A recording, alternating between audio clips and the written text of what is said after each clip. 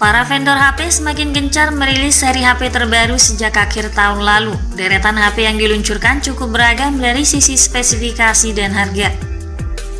Dari sekian banyak smartphone yang diluncurkan, ponsel dengan harga terjangkau menjadi salah satu yang paling banyak diminati terutama di rentang harga 2 juta. Karena tak sedikit HP di harga 2 jutaan sudah dibekali dengan spesifikasi yang bagus dan performanya bisa diandalkan.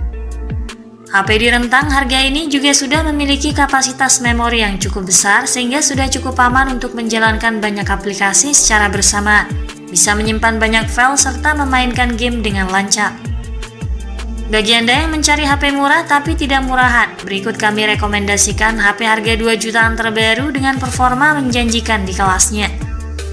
Simak videonya sampai akhir. Namun sebelum itu jangan lupa like dan subscribe channel ini serta tekan tombol notifikasinya agar Anda lebih mudah mendapatkan informasi-informasi terbaru dari kami. Yang pertama Realme 10. Ponsel ini membawa penawaran yang cukup menarik. Selain desainnya yang cantik, spek yang diusungnya juga handal. Sektor dapur pacu ponsel ini ditenagai oleh chipset MediaTek Helio G99 6 nanometer yang diklaim menawarkan peningkatan performa hingga 40% dibanding pendahulunya. Selain mampu menemani aktivitas keseharian dengan lancar, performanya juga cukup tangguh untuk gaming mobile. Dalam menunjang kecepatan akses multitasking, prosesornya dipadukan dengan beberapa varian RAM 4, 6, dan 8 GB, dilengkapi dengan RAM virtual hingga 8 GB. Kapasitas penyimpanannya hingga 256 GB dan masih bisa diperluas lagi hingga 1 tera. Pada aspek layar, Realme 10 mengusung teknologi Super AMOLED 6,4 inci memiliki resolusi Full HD Plus dengan tingkat kecerahan 1000 nits. Untuk menunjang navigasi ponsel terasa mulus, layarnya dilengkapi refresh rate 90Hz dengan perlindungan kaca Corning Gorilla Glass 5. Pada aspek kamera, ponsel ini membawa pengaturan dual kamera belakang dengan kamera utama 50 megapiksel. Kamera ini tampaknya mengalami penurunan dan tidak lebih canggih dari sensor 108 megapiksel di Realme 9. Lalu disandingkan dengan kamera depth sensor 2 megapiksel. Disematkan pula sensor 16 megapiksel di bagian depan untuk mengakomodir kebutuhan selfie. Ponsel ini ditopang kapasitas baterai 5000 mAh dengan pengisian daya cepat 33 watt. Fitur yang dibawanya juga cukup lengkap tersedia slot microSD dan jack audio, hanya saja tidak tersedia NFC untuk pasar Indonesia dan speaker yang masih tunggal. Harga Realme 10 di pasar Indonesia berada di kisaran 2,7 juta hingga 3,1 juta rupiah tergantung varian memori yang dibawa. Berikutnya Poco M5s. Selain chipset, Poco M5s memiliki sejumlah spesifikasi yang lebih baik dibanding versi reguler Poco M5. Di antaranya dari segi layar, kamera, dan fitur pengisian daya. Tidak hanya itu, bodinya tampak lebih kecil, tipis, dan ringan dibanding Poco M5 reguler. Poco M5s mengadopsi panel AMOLED 6,43 inci memiliki resolusi Full HD dan tingkat kecerahan maksimum 1100 nit, serta dilengkapi pelindung Corning Gorilla Glass 3. Pada sisi hardware, Poco M5s ditenagai chipset MediaTek Helio G95 12 nanometer yang dipadukan dengan kapasitas RAM 4 dan 6 GB disertai ekspansi RAM sebesar 1 hingga 2 GB. Penyimpanan internalnya seluas 64 dan 128 GB yang bisa diperluas lagi hingga 1 tera.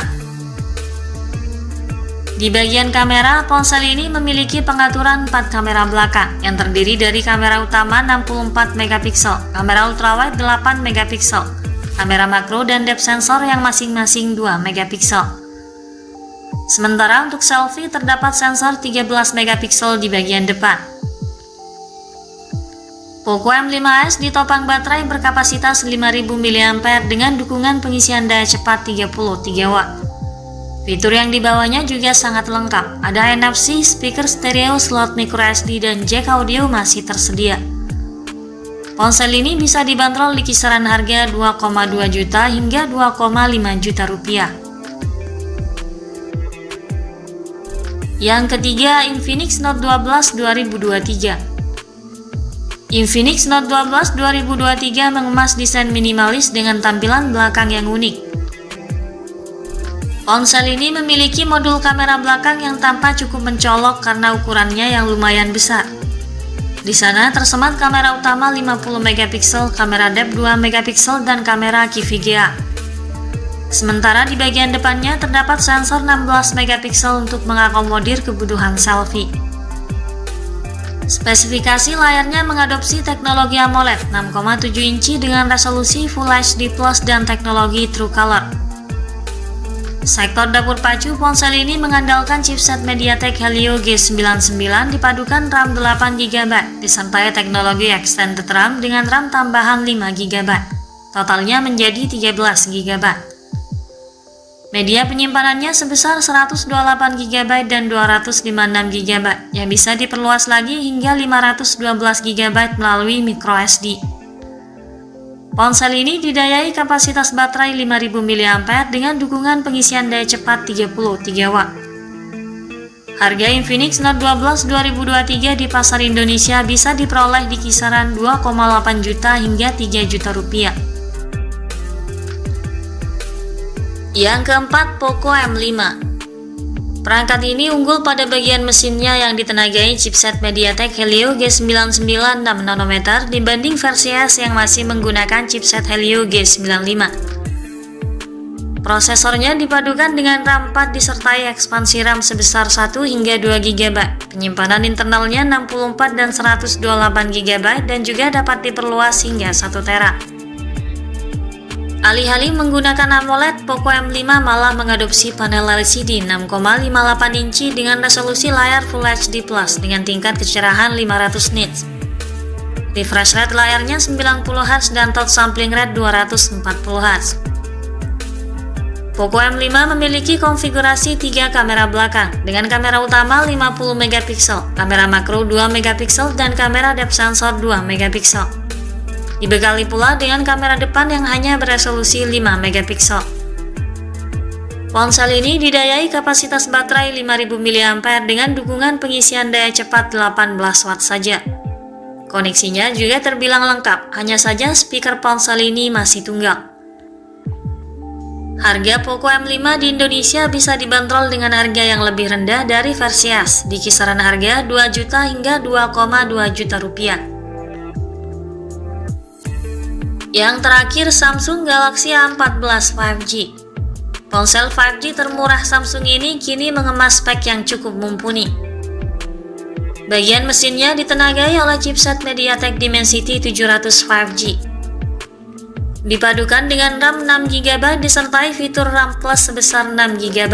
Penyimpanan internalnya seluas 128GB serta dapat diperluas lagi hingga 1 TB.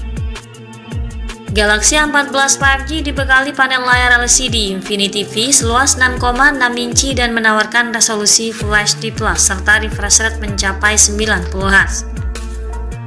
Pada aspek fotografi, ponsel ini membawa konfigurasi tiga kamera belakang. Kameranya terdiri dari kamera utama 50 megapiksel, kamera depth sensor, dan makro 2 megapiksel. Disematkan pula sensor 13 megapiksel di bagian depan. Ponsel ini ditopang kapasitas baterai sebesar 5000 mAh dengan pengisian daya hanya 15 Watt saja. Fitur lain yang dibawanya juga lengkap, selain speaker yang masih tunggal dan pemindai sidik jari yang terintegrasi dengan tombol daya. Harga Samsung Galaxy A14 5G bisa diperoleh di kisaran harga 2,9 juta untuk varian 6 per 128 GB. Itulah 5 daftar HP 2 jutaan terfavorit saat ini. Semoga menjadi tambahan referensi untuk Anda. Jangan lupa klik like dan subscribe untuk mendukung perkembangan channel ini. Terima kasih sudah menyimak dan sampai jumpa lagi di video selanjutnya.